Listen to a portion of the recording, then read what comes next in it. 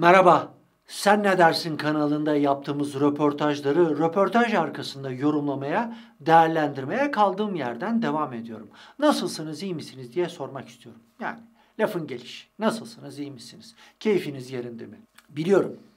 İyi olmaya çalışıyorsunuz. İyi diyelim, iyi olalım diye bir laf var ama iyi diyelim deyince hadi iyiyim diyelim. İyi olunuyor mu? Hmm. Son baktınız mı bilmiyorum. Türk lirası biraz daha eridi, biraz daha değersizleşti. Dolar 55 liranın 18.55, 18.56, 57, 19 liraya doğru tırmanıyor. İşin ilginci euro da tırmanmaya başladı.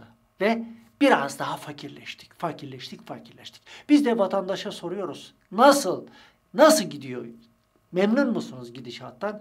Vatandaş da içini döküyor. Tabii biz sorduğumuz için bizi suçlayanlar da oluyor. Artık alıştık. Suçlu biz miyiz? Şimdi röportaj arkasına geçen hafta yaptığımız röportajı değerlendireceğim ama yine çok küçük bir parantez açma ihtiyacı hissediyorum gündeme dair. Çünkü çok trajik, çok kötü bir olay yaşandı Ankara'da. Bir şarkıcı, bir müzisyen katledildi. Bakın katledildi. Çok oluyor. Çok oluyor ama bu biraz daha garip. Çünkü katledenler bürokrat ve sabıkalı oldukları halde bürokrat olarak görevlendirilmiş devletin kademelerinde. Kafalarda tabii deli sorular var. Bunlara kim referans oldu ve bu yaralamak sabıkaları var çünkü iki tanesinin nasıl oldu da bürokrat oldular bunlar. Ve bir insanın ocağını söndürdüler. Geçen hafta bir polisin ocağı sönmüştü. Olan ekmeğinde, işinde, gücünde olan insanlara oluyor ve bütün bu olayları birleştirince ister istemez insan yarına dair endişeye kapılıyor. Ne oluyoruz? Biz ne hale geldik böyle? Bu insanları kim refer etti de devlete bürokrat oldular bunlar. Yazık günah. Bir de işin ilginci bunlar AK Partili alkol almışlar. Bakın alkol. Evet alkol bütün kötülüklerin anası ama hani AK Partililer içince hani diyorlar ya başkalarına haram, sigara bilmem ne Sayın Cumhurbaşkanı Recep Tayyip Erdoğan bununla ilgili birçok şeyi söylüyor ama kendileri yapınca, kendileri içince neden örtbas etmeye kalkıyorlar? Hiç yandaş medyada gördünüz mü şu olayla ilgili herhangi bir şey? Yok, yok. O bürokratlar nasıl nasıl seçildi, nasıl işe alındı, neden neden kimse soruşturmadı bu insanların sabıkasını ya da bilmem nesini? Sabıkalı insanlar iş bulmasın ya da hüküm giymiş insanların başına onlar aç kalmasın diye bir şey yok ama atandıkları görev çok önemli arkadaşlar.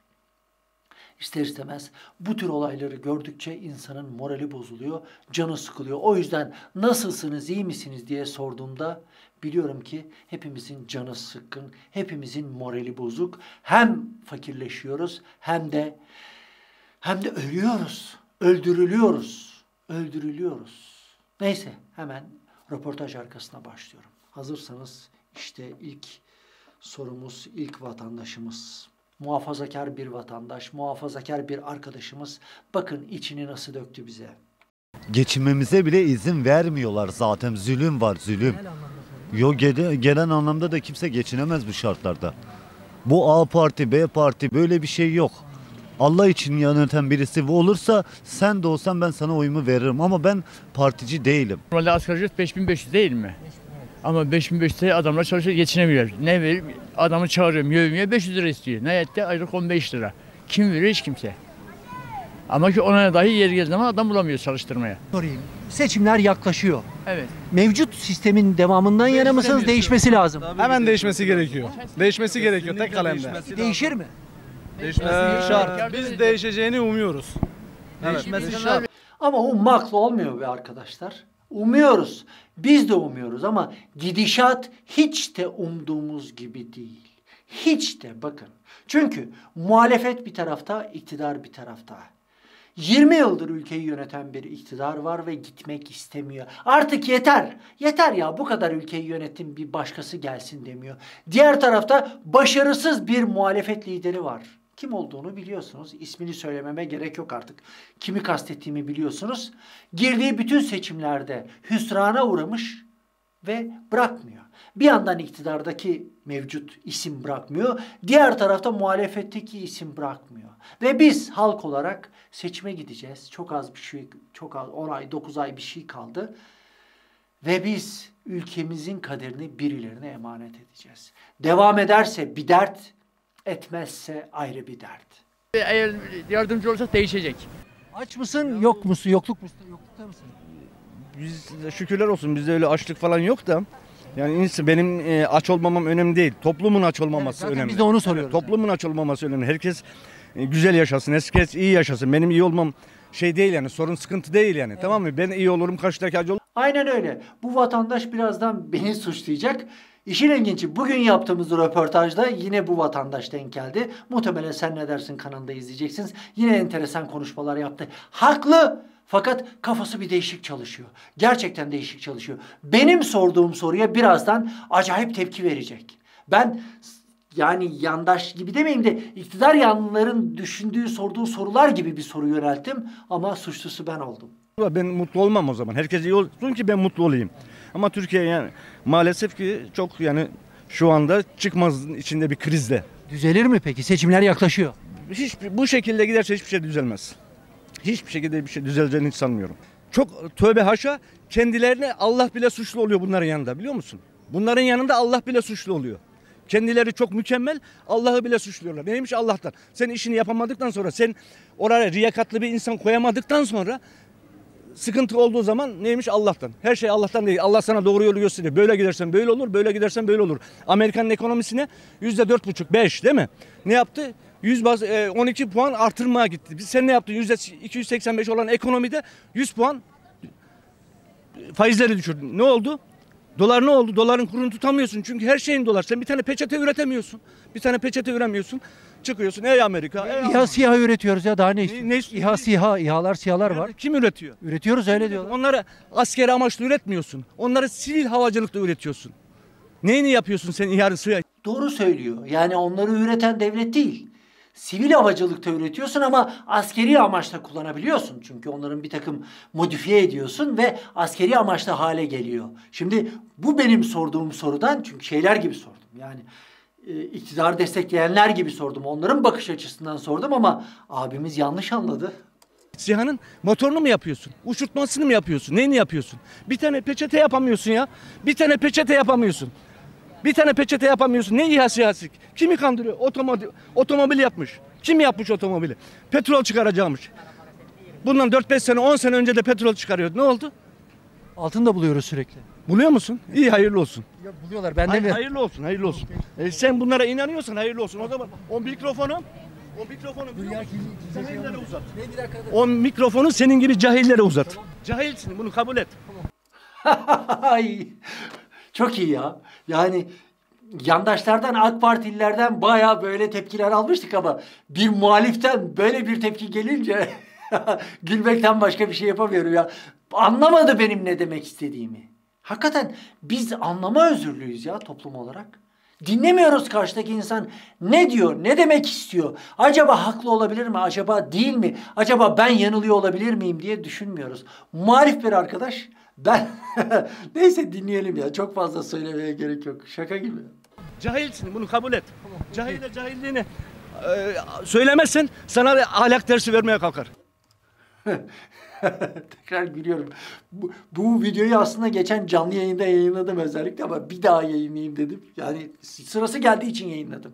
Canlı yayında logosuz yayınlamıştım. Gerçekten beni cahillikle itham etti ya. Vallahi ya. Bu da sensin bir tanesi sen. Teşekkür ederim sağ ol. Belli. Verilen zam belli, verilen maaş belli. Bu maaşından kim geçinebiliyor? Burada vatandaşa sor bakalım. Hiç kimse. Herkes ekstra işlerle uğraşıyor ev Anladın da, geçindirmeye. Gel ablacığım siz de gelin. Kiralar Sizin gibi. çıkmış 7 bin liraya Bursa gibi bir yerde. Kiralar 7 bin lirayken kim geçinebilir? Askeri ücretine kim geldi? Askeri ücreti yaptı. 6 bin lira. Kiraları yükseltti. Zam 5500 lira bu arada. geçiyor mu elimize devlet vergi kesintisiyle hepsi? Peki seçimler yaklaşıyor. Düzelme umudunuz var mı? Hiç yok daha çok batacağız. İşte vatandaş. Vatandaş. Bakın umutsuz bir vatandaş. Muhtemelen daha önce AK Parti'ye de oy vermiş olabilir. Hiç önemli değil. CHP ya da bir başka parti. Eğer bugün vatandaş seçimlerden sonra da düzelme umudu yoksa bu siyasetçiler neden uğraşıyorlar ya? Niçin mücadele ediyorsunuz kardeşim? Hiçbiriniz vatandaşa umut olamıyorsunuz. İktidar ve muhalefet. Tabi burada özellikle eleştirilmesi gereken muhalefet. Çünkü 20 yıldır güç seyirlenmesi yaşayan ve ülkeyi getirdiği durumun farkında olmayan bir iktidar var. Ve diğer tarafta ülkenin geldiği durumdan kendisinin de sorumlu olabileceğinin farkında olmayan bir muhalefet var. Ve vatandaş umutsuz. Umutsuzsa eğer vatandaş Allah'a kaldı işimiz diyecek birazdan biri ama nasıl cevap verecek göreceksiniz. Devlet sadece Suriyeliye, Afganlıya, Arabına sahip çıkıyor. Dubailisine sahip çıkıyor. Kendi ülkemizde biz mülteci gibi yaşıyoruz zaten.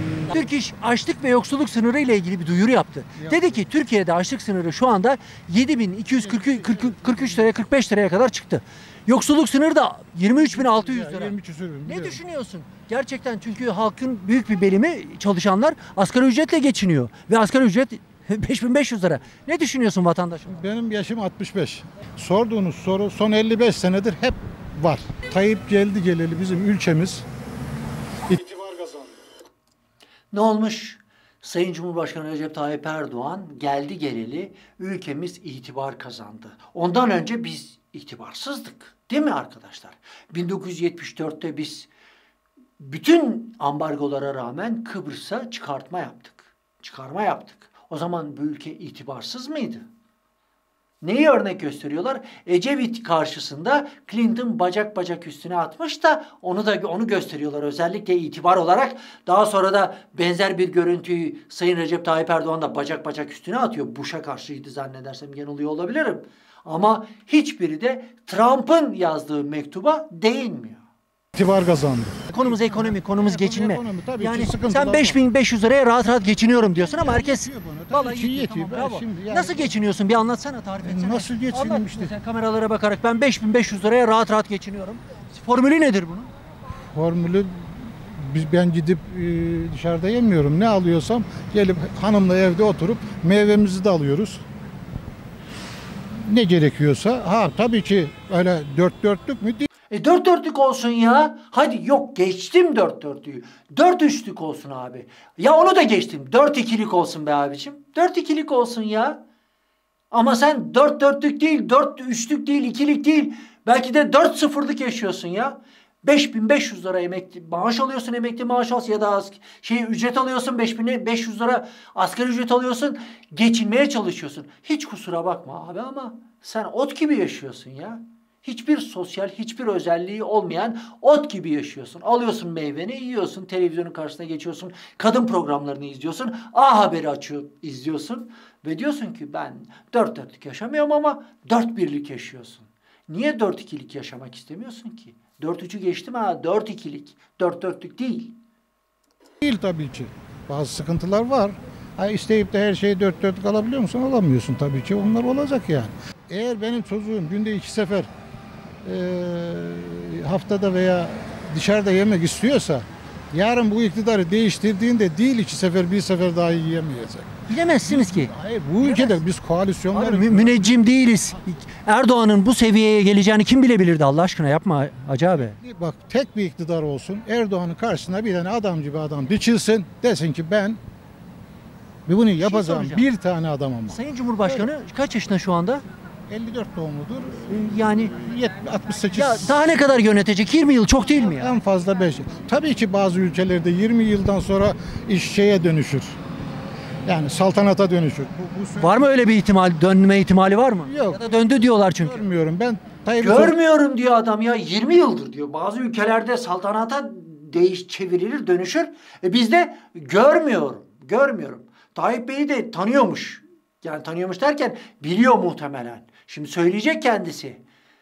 Ama hala Erdoğan'ın aslında bir saltanat kurduğunun, bir saadet zinciri kurduğunun farkında değil.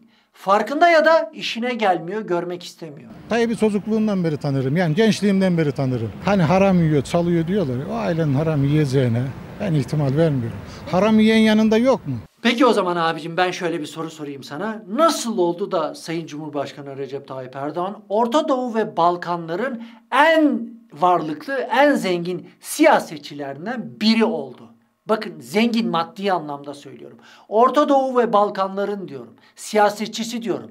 O şeylerden söz etmiyorum. O işte Suudi Arabistan ya da Katar ya da orada monarşiyle yönet- yönetilen ülkelerdeki şeylerden söz etmiyorum. Siyasetçilerden biri olarak söylüyorum.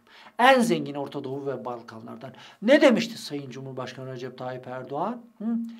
Eğer bir gün Recep Tayyip Erdoğan zengin olduğunu duyarsanız bilin ki haram yemiştir diye kendi sözü var. Bunu defalarca buradan dile getirdim, anlattım. Hırsızlıkla ilgili, zenginlikle ilgili babadan oğula ya da şöyle şöyle nasıl insanların zengin olduklarını, fakirin neden fakir olduğunu anlatan videoları var. Biliyorsunuz. Ama abimiz inanmıyor. Haram yememiştir diyor. Peki nasıl oldu da Nasıl oldu da Sayın Emine Hanım 50 bin dolarlık çanta alabilecek seviyeye geldi? Nasıl oldu da çocukları gemiciklerle ticaret yapmaya başladı? Madem dürüst inanıyorsun sormak lazım. Soruyorum ama cevap alamıyorum. Haram yiyen yanında yok mu?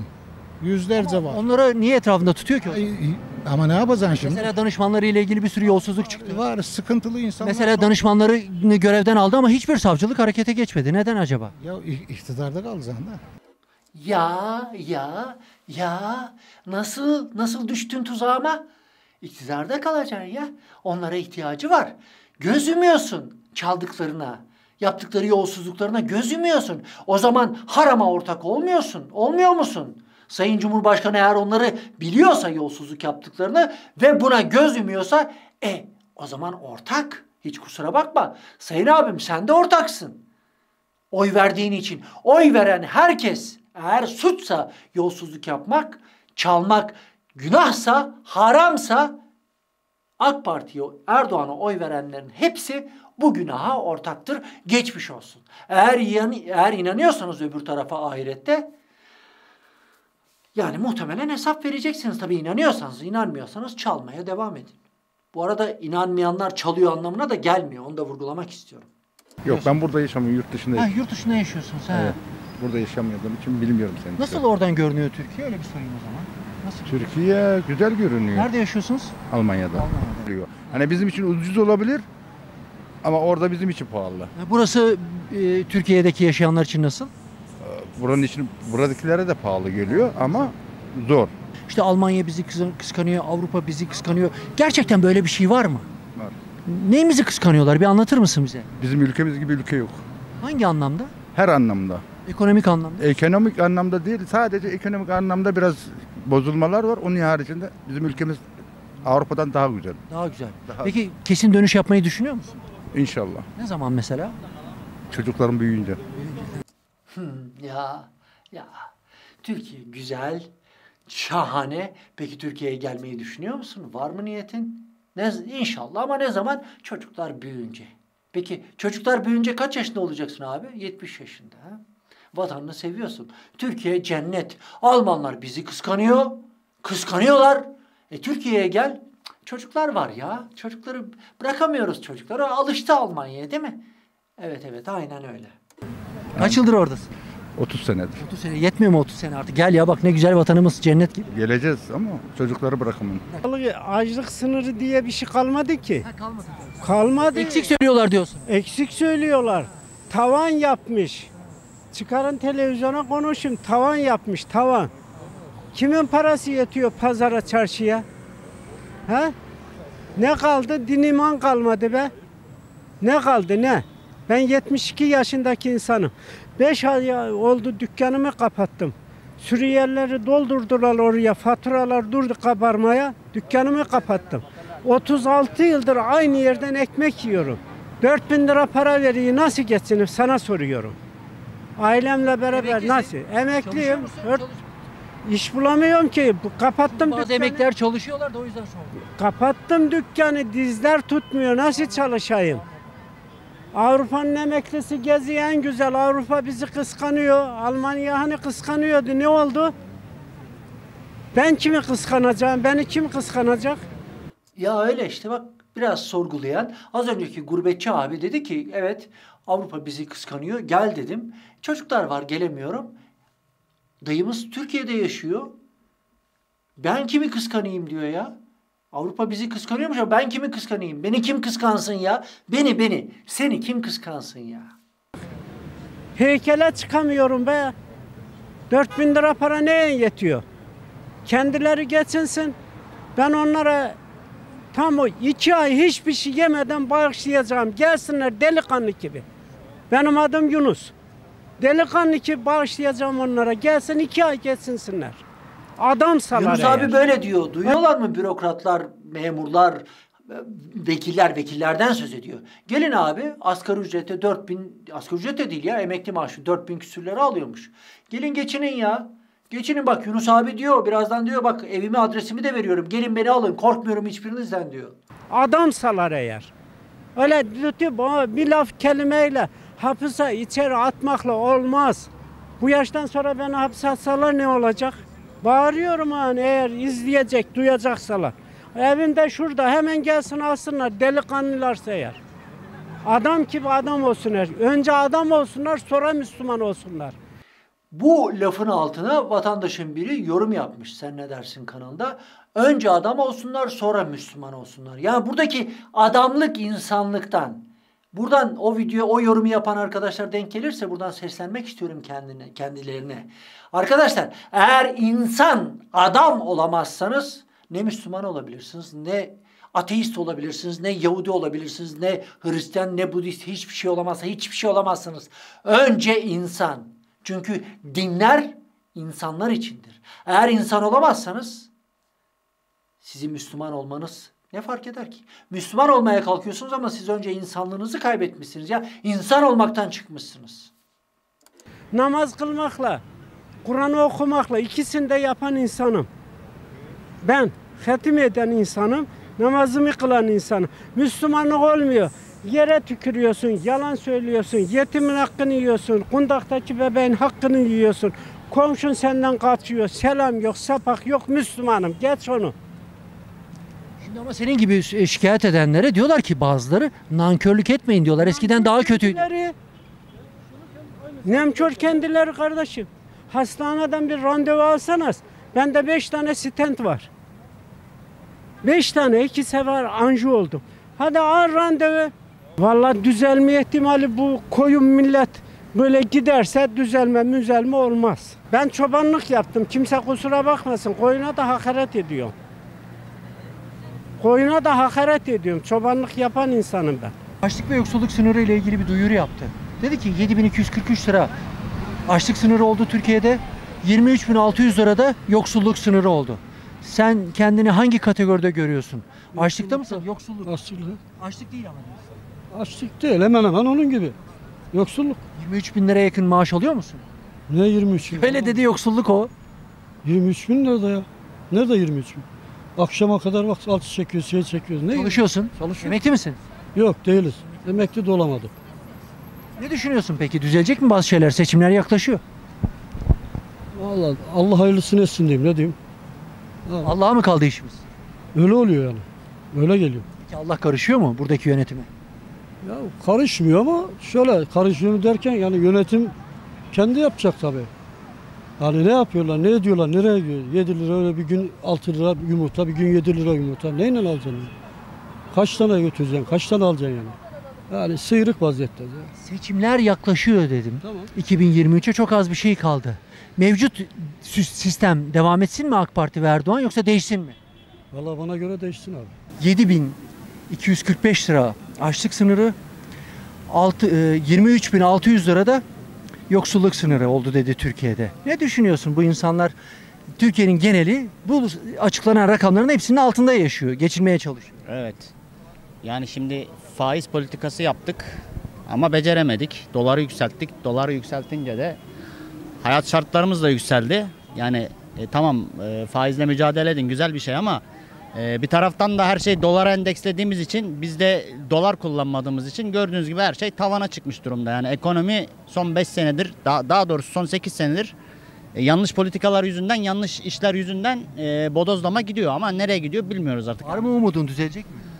Ya umut hiçbir zaman kesilmez ama e, şu görünüşte dünyanın genelinde bir kriz var. Çevremizde bir kriz var. Tamam çevremizde kriz var ama biz de diyoruz ki niye bizde daha fazla? Kardeşim bunu soruyoruz, bunu anlatmaya çalışıyoruz. Güzel konuşuyor aslında vatandaş ama soru şu. Kardeşim bütün dünyada kriz var. Bizde neden daha fazla? Neden daha bu kadar ağır aksediyor bize? Vatandaşımız bizim Türkiye Cumhuriyeti vatandaşları neden daha çok eziliyor? Hani e, Ama biz daha çok etkileniyoruz. E, çünkü neden daha çok etkileniyoruz? Çevremizde çevremizde bir takım siyasi olaylar dönüyor. E, Yunanistan'la olan mevzular belli. Aşağımızda zaten savaş var, yukarımızda savaş var. Yani bir tarafa açılamıyoruz. Üretim yapsak ne tarafa gideceğiz? Çevremizde e, çevremizde iktidarı düzgün ya da e, birliği düzgün bir ülke yok. Telefonu çıkartmayan var mı? Çıkartayım bak ekran kırık bak. Alamıyorum bak. Garibansın ya sen maşallah garibansın ya. Abi bak. Ah telefonu çıkartmayan dayı varsa. Ha, hemen çıkartayım bak de. Ekran kırık Ama bak. telefonu var, ekran ekran var. Zenginsin sen. Nereye zenginim abi görmüyor musun bak telefona bak. Buradan anca bu telefonu Alamıyorsun yenisini. Nereye alacaksın abi? Asgari ücretle çalışan biri nasıl alacak abi telefon? Asgari ücretle mi çalışıyorsun? 5500'e çalışıyoruz abi. İşte bak Türk İş Tamam taksitte alacaksın be kardeşim. Oo. Taksitte alacaksın. Telefonun var. Telefonun varsa zaten zenginsin ya. Dayılar hemen diyor. Çıkar telefonunu. Telefonun var. Kırık bırık telefonun var ya. Telefonu olmayan da var bu ülkede ya. açıklama yaptı.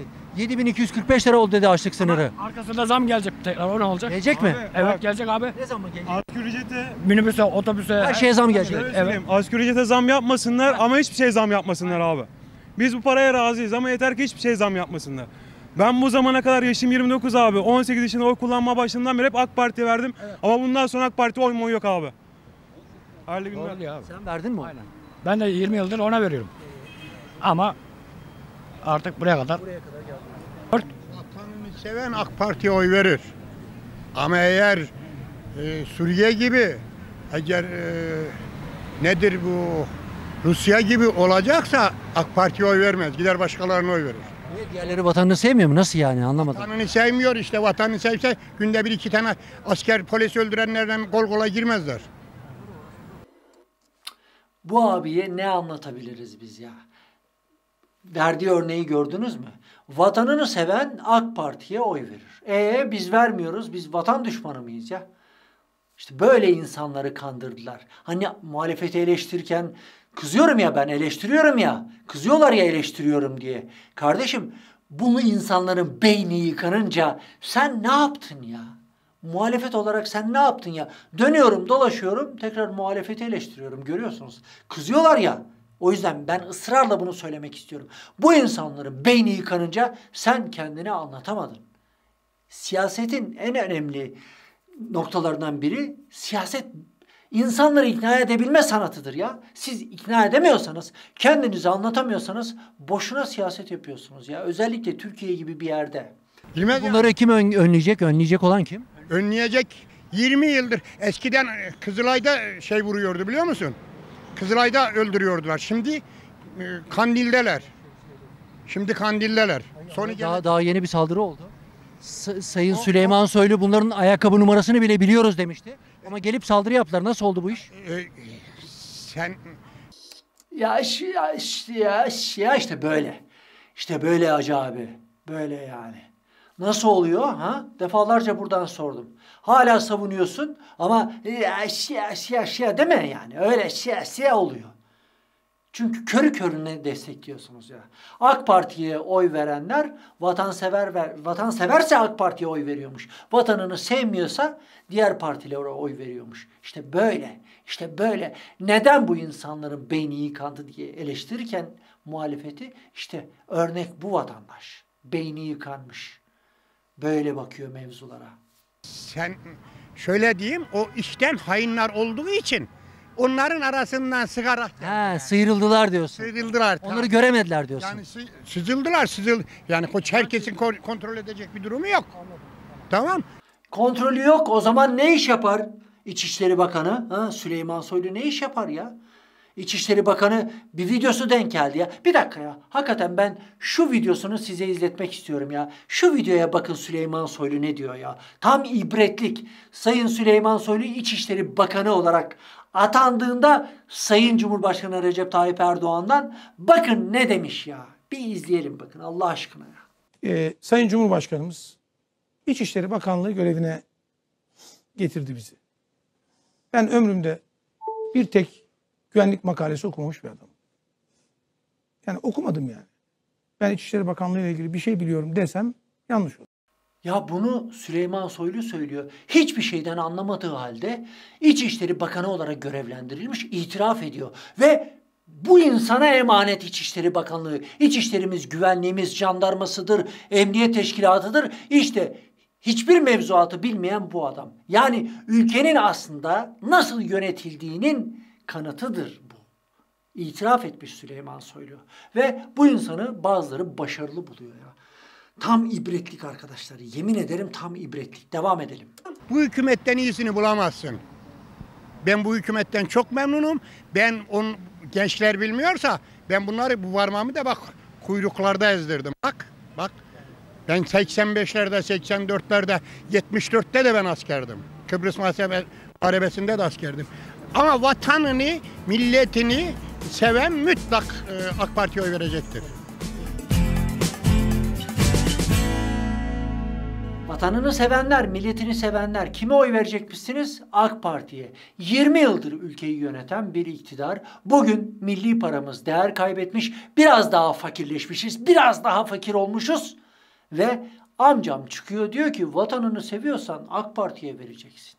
Peki diğer partiye oy verenler ne oluyor bu durumda? Vatan haini mi oluyor? Vatan düşmanı mı oluyor? Sevmiyor muyuz biz vatanımızı? İşte böyle arkadaşlar, işte böyle bu insanlar, bu insanlar bizim insanlarımız. Bu insanlar Türkiye Cumhuriyeti vatandaşı ve bu insanların beyni yıkandı. Bunlar mankurtlaşmışlar. Ve bunlar, bu insanlar mankurtlaşınca, beyinleri yıkanırken, mankurtlaştırılırken 20 yıl boyunca karşısında muhalefet eli armut mu topluyordu dersiniz, seyrediyor muydu dersiniz, ne derseniz deyin ama apaçık bir gerçek var. Başarısız bir muhalefet.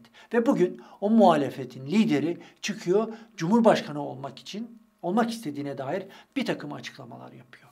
Hani bir laf vardır ya, yukarı tükürsen bıyık, aşağı tükürsen sakal durumu. Sağa tükürsen kulak, sola tükürsen diğer kulak. Ya da tam tersi sağ sağ sağımı solumu da karıştırdım ya. Neyse bundan sonraki videolarda görüşmek üzere. Sağlıcakla kalın.